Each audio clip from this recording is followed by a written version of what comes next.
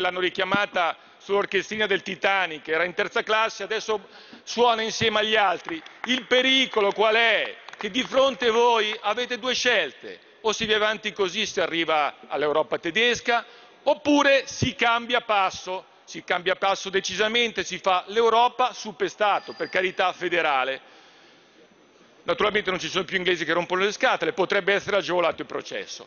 Fate qualcosa, fate presto. Ma una sola cosa noi vi chiediamo, qualsiasi cosa decidiate chiedete il consenso del popolo, perché i popoli sono padroni del proprio destino.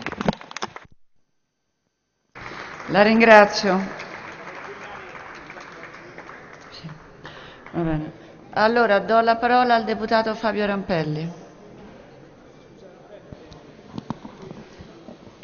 Sì, il Presidente del Consiglio ci sta lasciando per gli impegni istituzionali e do quindi la parola al deputato Rampelli. Prego.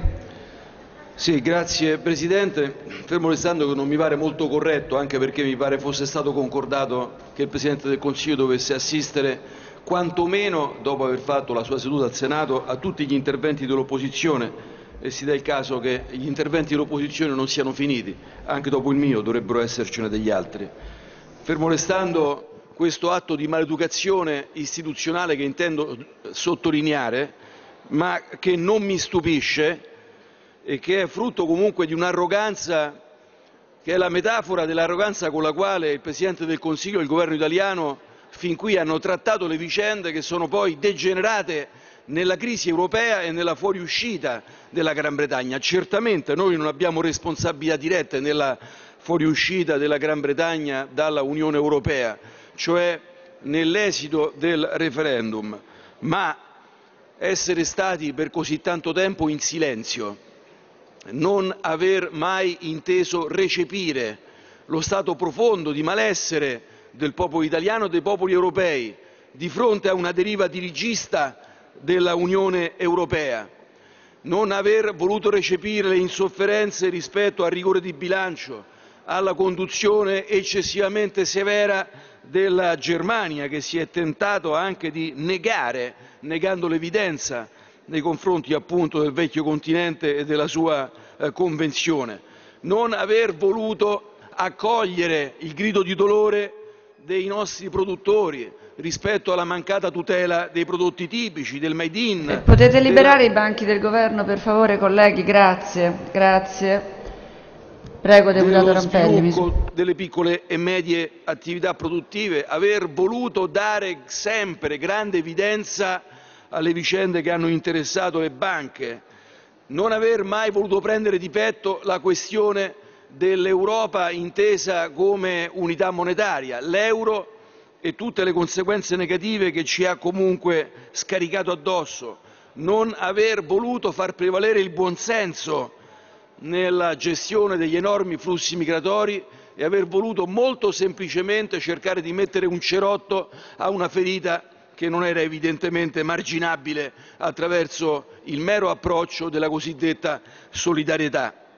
Solidarietà sì, ma necessità di comprendere in fondo le trasformazioni di quel continente e di intervenire lì per sconfiggere la povertà, il sottosviluppo attraverso adeguate politiche internazionali che l'Italia semmai avrebbe dovuto prima fra tutte cercare di guidare. Non aver voluto sfiduciare, tra virgolette, il piano Juncker e Juncker stesso. Oggi ci troviamo paradossalmente a discutere delle dimissioni presentate dal premier inglese britannico David Cameron ma non c'è nessun cenno di pentimento da parte del commissario europeo, ex presidente del Consiglio del Lussemburgo, uno dei piccoli, più piccoli stati dell'Unione Europea che clamorosamente si trova a guidare l'Unione stessa. Certo, il Lussemburgo è un piccolo Stato, ma è un forziere, lì dentro vengono custoditi tanti, forse troppi segreti e questo dovrebbe essere il vero valore aggiunto del commissario Juncker.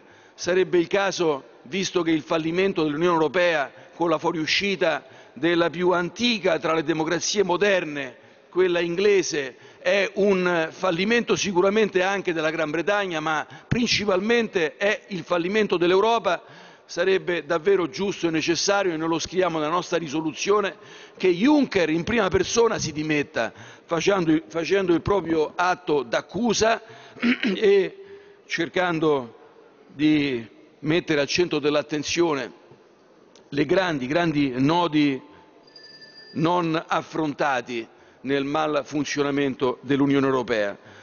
A queste vicende ci appelliamo, per questo riteniamo che l'operato del governo italiano nel suo rapporto con l'Unione Europea sia stato largamente deficitario, per questo riteniamo che le correzioni di rotta più recenti sono soltanto dei gargarismi intellettuali fatti dal Presidente del Consiglio arrivati fuori tempo massimo, ha avuto due anni e mezzo per rendersi conto dello, del reale stato delle cose, dell'impoverimento progressivo del nostro popolo, dei 4 milioni di poveri e delle notevoli difficoltà per la produzione italiana anche in relazione alla, e concludo, incapacità e non volontà da parte delle autorità europee di sconfiggere la concorrenza sleale, primo passo per poter far avanzare la produzione. L'ultimo nodo è quello del debito pubblico che galoppa, ma questa è un'altra storia che affronteremo nel corso della dichiarazione di voto. Grazie, deputato Rampelli. Allora, deputato Palese, sull'ordine dei lavori, prego. Sì, grazie signora Presidente. A me spiace, cioè, ma faccio questo intervento perché ne rimanesse traccia agli atti. C'era stato un accordo per lo svolgimento dei lavori di questa mattina, cioè che stante l'emergenza c'era stato uno spostamento, una riduzione rispetto al calendario iniziale concordato con tutti. Detto questo, cioè nel contesto cioè della discussione, l'accordo ha previsto cioè una serie di deroghe che tutte le opposizioni o i rappresentanti delle opposizioni, gruppi cioè, o componenti che siano, dovevano essere cioè, ascoltati per un tempo autoridotto da parte del Presidente del Consiglio. Peraltro c'era anche un'altra deroga rispetto alla prassi